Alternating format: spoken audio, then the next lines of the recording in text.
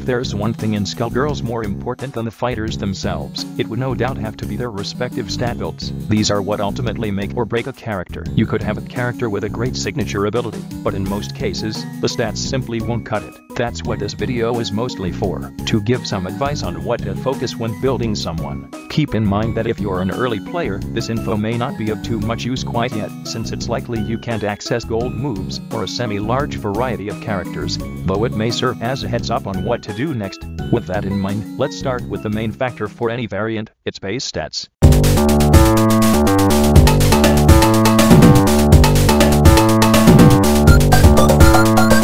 Base stats are by far the most important aspect of any fighter, and more often than not determine if a fighter will be more suited for offense or defense, as one could imagine. Attack will increase your damage output when hitting an opponent and health will allow you to take a few more hits. Each character has a specific preset of stats, depending on their respective roles. The more extreme examples of this would be Pinwheel filling the role of a glass cannon, and Big Bad as a tank. Additionally, variants have a distinct set of base stats, while always fitting the bill of their respective character trait. In short, this means that sometimes the variant may comply with the trait, but is better fit for a different job. Worth of mention, the lower the tier, the lower the base stats will be, making diamonds often good candidates for hybrid variants, in both attack and HP. All in all, these two stats are the must invest for any fighter. They are essential for further increasing someone's potential for whichever role it may be, but bear in mind to look up what the base stats of the variant look like, so you have a better understanding on what to invest for it.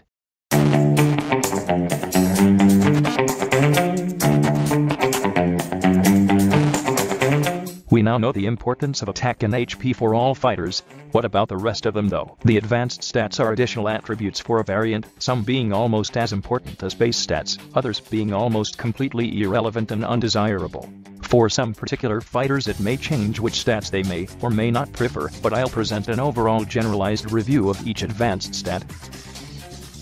These two stats counter each other respectively. Defense reduces the total amount of damage. When defense is maxed it technically doubles the amount of health the defender has. To counter this, piercing has been implemented so it could reduce the amount of defense total, and also bypass a few armor stacks.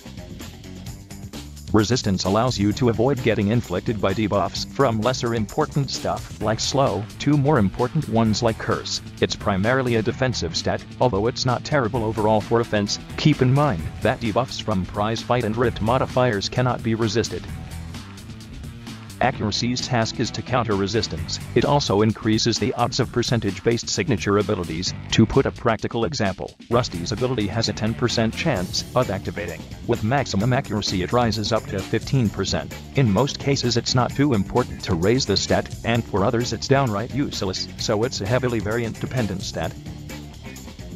Element bonus and penalty are both pretty underwhelming stats that are only have utility on offense, though being small, they increase attack depending on the fighter's elements. But it ends up being very situational. Neutral fighters have no benefit from either stats, plus light and dark cannot use element penalty, leaving bonus as the most usable stat. Double actually can use element bonus pretty effectively, thanks to being able to change element to a favorable one.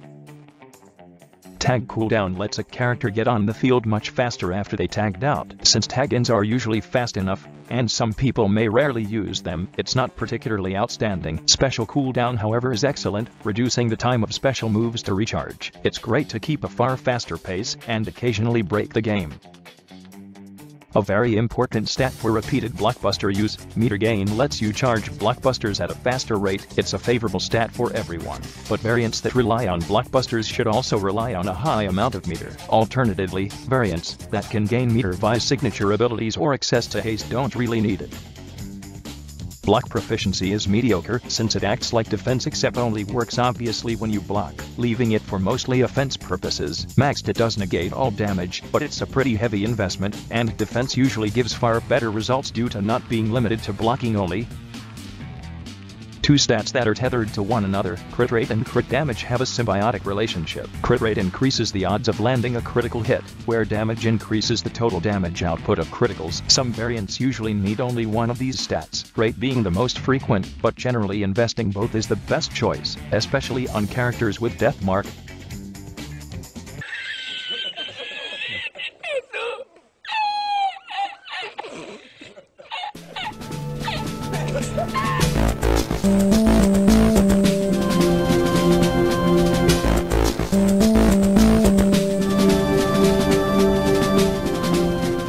With all the stats discussed, the most important part is only left, equipping moves. Blockbusters and special moves are what provide fighters with their much needed stats. When leveling a move up, one of the stats at random will increase. It's thanks to these moves that many players either have very strong, tanky or tactical characters. However, due to the gacha element of the game, the stats on moves will be randomized, and it'll often take a long time to craft a good stat build on a character. Also there's a small set of guidelines when building moves. First and foremost is for moves to have either attack or health depending on what role they'll assume. As stated previously, these are the most important stats for any variant in the game, and are a must invest. Therefore it's highly recommended to look for moves that have at least one of these, otherwise, it'd be an immediate sell, despite the secondary stats being still good.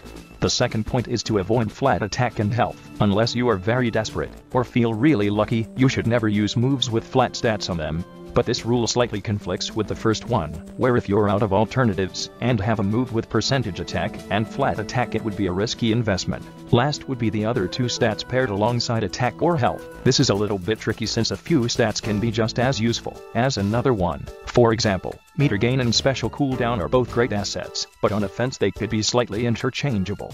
The following chart serves as a good guide as to what to look after within a move. The most common and effective combinations for offense often pit attack, meter gain, and piercing, where defense relies on health defense, and usually resistance.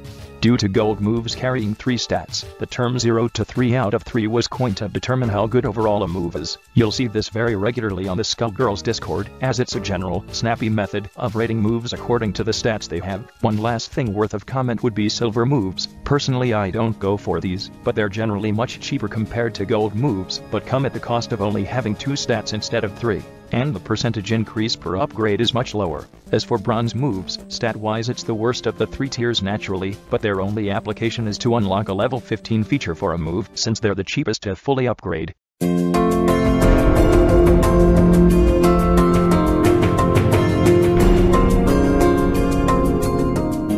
I'd like to dedicate this last section to discuss a few examples of special cases, variants that follow a different set of stat guidelines, or that in very few cases don't really require an overly invested build, even though it's still encouraged heavily. To start off, we have Bad Hair Day, a very simple to use variant praised for her extreme ease of use, while an offensive variant, in mid to late game she becomes unviable for direct damage duties, and has to heavily rely on inflicting bleeds. That's where accuracy comes in, as a resistance counter, and to increase the signature ability's odds of triggering. Health and defense are also relevant assets, so that bad hair day can last a bit longer. Last would be meter gain and special cooldown, to increase the frequency of move usage.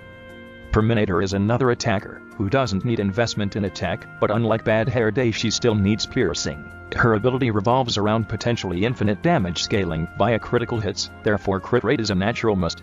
Additionally defense and meter gain are recommended, the latter specially to spam many of Robo Fortune's several multi-hit blockbusters. BO Exorcist is an example of a variant with a signature ability considered by many that helps the variant to be functional without any stat investment. Don't misunderstand this statement, investment is always recommended, I'm only stating that she can work without it. My personal build would be based around a defensive role, to take hits, and assume a defense role, while thanks to the ability execute offense, Heart of Darkness at first doesn't seem like a variant that doesn't require any kind of special stat, but having a singular use ability with a 30 second hex in it, combined with defenders often having resistance, makes accuracy an additional stat for her, exclusively to ensure as much as possible that the hex doesn't fail. A similar case would be Xenomorph, with her permanent doom, but unlike her, Heart of Darkness only has one shot across one match, so she really needs to make it count.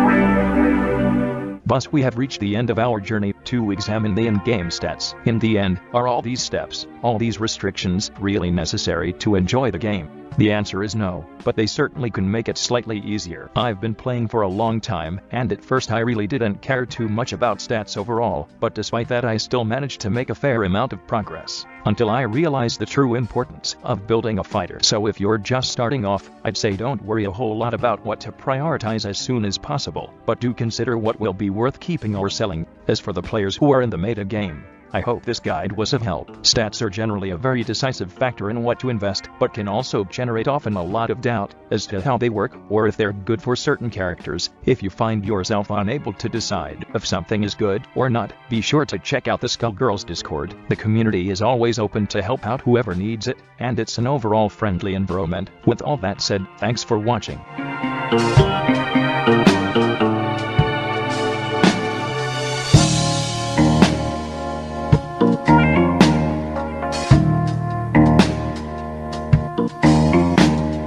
Citizens aren't supposed to have guns. Admins aren't supposed to suck dick.